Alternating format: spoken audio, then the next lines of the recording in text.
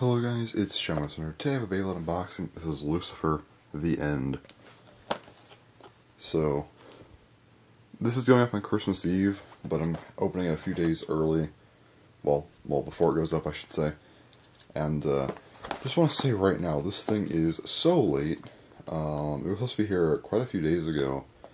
I know the USPS has been having a lot of problems. So, this thing came pretty late. Alright, just getting the tape off really quick. Let's see. Once I do that, we'll see if I get a rare uh, disc. And yes, this does use a disc. It's actually my first Limit Break Bey. That's also why I'm um, uploading this so late. And no, that's fine.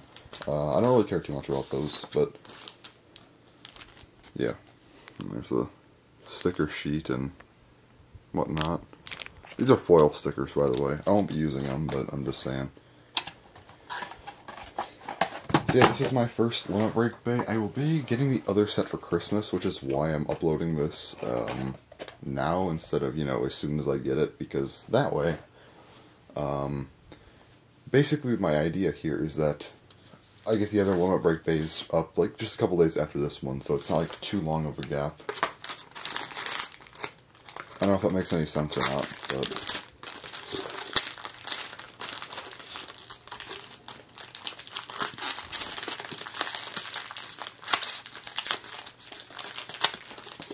Alright, sorry about that, that took like forever. Anyway.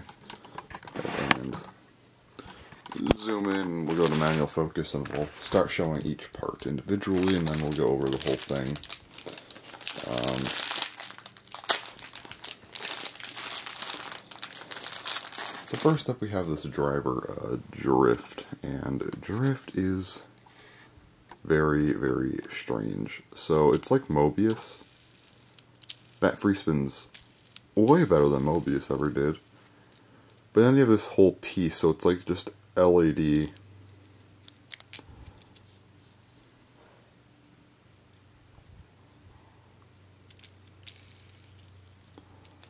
Yeah, so if it like tips, it just goes onto this and it's just like really, really good.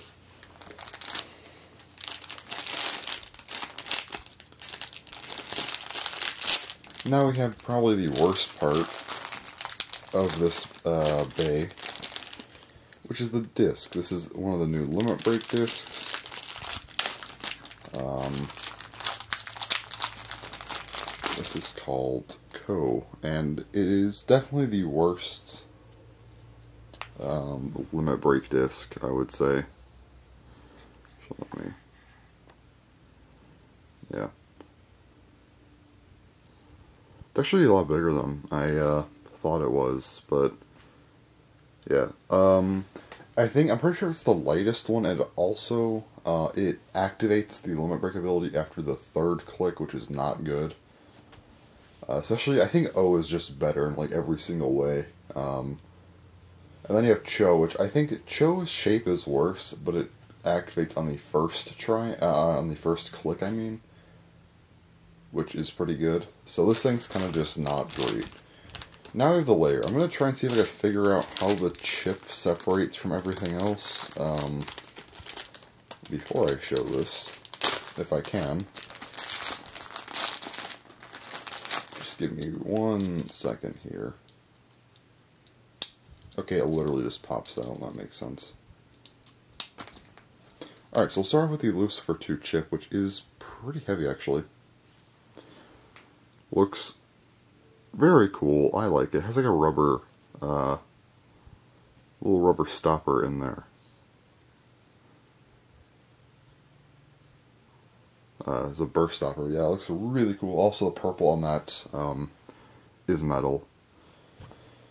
And then there is the end. Let me go ahead and line everything up to put it in its regular form, essentially.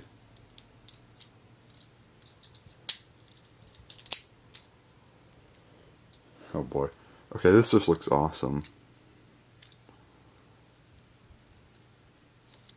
More rubber here, I think. I think that's rubber. I'm not sure, actually.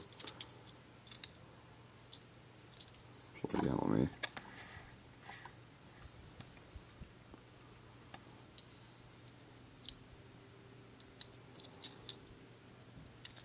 Alright, so when I put this together, first up just show you the the chip on there. Which looks nice. You can see the little red, the, the rubber in the middle there. But, uh, yeah. Anyway, go ahead and put this thing together.